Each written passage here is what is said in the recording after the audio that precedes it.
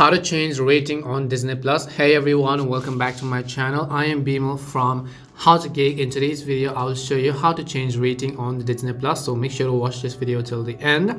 In order to change the content rating on disney plus we will dig into the settings a bit. So in the top right corner just click on the profile icon as you can see over here. And after you do so click on the option that says edit profiles. Once you tap on edit profile click the profile that you wish to edit. At this screen you can also add multiple profiles. Different parental controls can be set on different profiles. And after you do so under parenting controls click on the content rating section and you may be required to enter your password again at this point.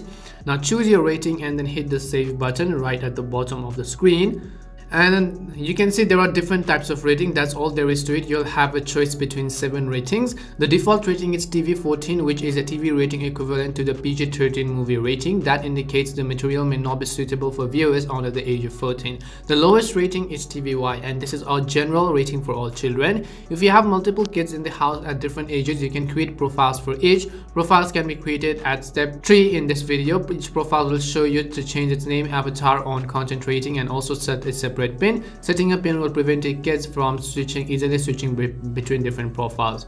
And that's all it takes to change rating on Disney Plus. We hope the video was really helpful and if it did help you make sure to leave a like and subscribe to our channel. If you have any more questions make sure to also leave them down. Thank you very much for watching and see you soon in our next video.